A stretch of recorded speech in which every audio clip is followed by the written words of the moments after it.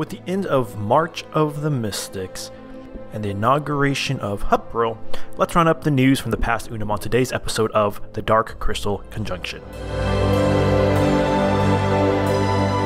Well, howdy y'all, and welcome to the Dark Crystal Conjunction, your YouTube dream space to nerd out about all things the Dark Crystal.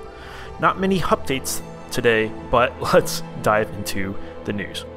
The Amazon listing for J.M. Lee's Song of the Seven Gelfling Clans was updated, giving us a preview of 10 more pages. If you can recall last month, we only got four pages, which I shouldn't say only. I'm very glad we got those four pages, and we got the cover. So let me refresh your memory on what this upcoming release is as I flash these 10 pages up here. Again, I cannot wait for this book. I'm very excited about it. It reads Many trines ago, a songteller sought to explore the world of Thra and uncover the secrets of the Gelfling throughout the Seven Clans. Venture back in time with photos, sketches, and art from Jim Henson's The Dark Crystal Age of Resistance in this exclusive collectible book for Dark Crystal fans everywhere. End quote. It is already available for pre-order, $20.20 US dollars that is, for the hardcover and $12.99 Kindle. All 224 pages of this 7x9 inch Penguin Young Reader will be dropping July 28th, 2020. Granted, there's no uh, delays or anything like that, as some things have been getting delayed, but we'll keep an eye on that, and I'll let you know if anything changes. But again, links for everything we talk about will be in the description, so check it out for yourself on Amazon. In the comics world, last Unum, we got issue number 7 of the Dark Crystal Age of Resistance, which continues the great little prequel story of Hup going from cook to squire to eventually wanting to become a paladin like we see in Age of Resistance, the Netflix show. This series continues to just be great, and I cannot wait for issue number 8 to drop. It was originally scheduled to come out April 29th, 2020, but with the Diamond distributors, who are the ones who distribute the comics, they pretty much have the monopoly on it in America at least, announcing in the last weeks that it would temporarily cease shipments to comic book stores as a result of the coronavirus for an unknown time, at least 8 to 10 weeks, last I heard. In the meantime, let me encourage you to keep doing what you can to support your local comic book store. They're really the ones that keep comic books alive. And so, you know, if we want to see more material come out from these, it's important that we keep supporting the little guy, if you will. That's how the comic book industry works. So, uh, maybe you can catch up on older Dark Crystal comics. There's plenty of them out there. I have a reading list, and I am going to update my reading list pretty soon. But check out your local comic book store. You know, some of them are doing free deliveries. I know mine is doing free deliveries and having a lot of $1 sales. So you may find some great older Dark Crystal comics that you haven't caught up yet on or read. Um, now's a good time to dive in while, you know, kind of new stuff has ceased.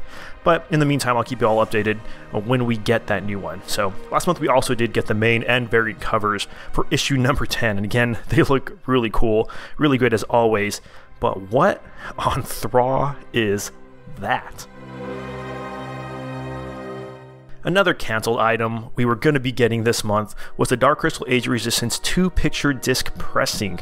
One would feature the Ariel and the other the Crystal Chamber. This would have come out on Record Store Day, which is April 18th, 2020.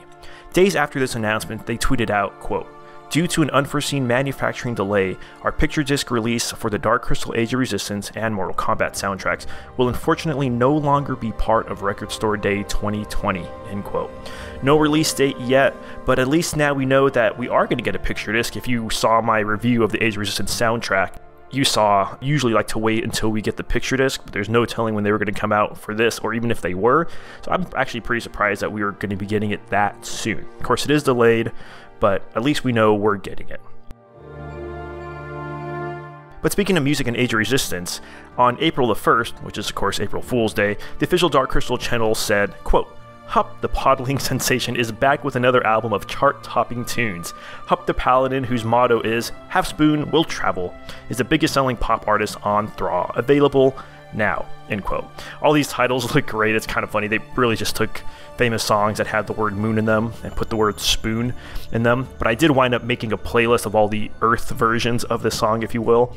Uh, of course, I started with the best of Hup, little four-minute video from Netflix.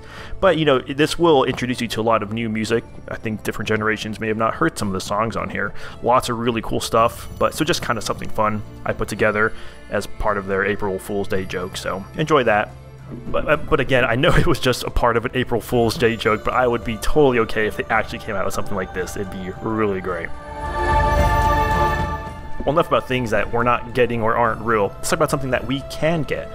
If you remember a couple months back, I highlighted the death-saves.com collection and their Dark Crystal line. Death Saves makes incredible clothing, some of my favorite. And if you've seen my video review on it, you know that I love these shirts. I love, I mean, it's just high quality stuff.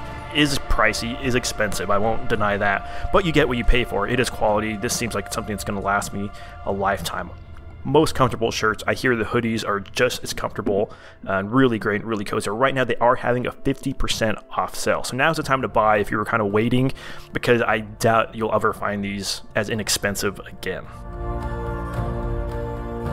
Another cool thing we got was the first Q&A panel from the official Dark Crystal convention that took place in February, if you remember, the Great Conjunction.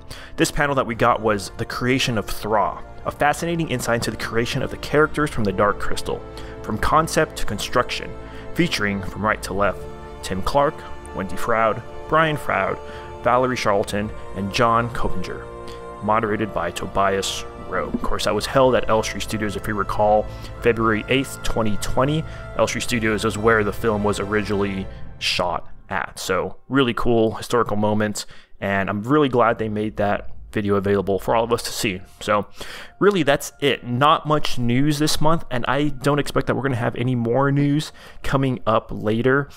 But I will always try to keep us updated. I do hope to try to come out with more videos, but things have been extra, extra busy for me with the family at home and schooling and things like that from this kind of shut in. So, again, appreciate y'all's patience with me, and y'all continue to just be a wonderful community to be a part of.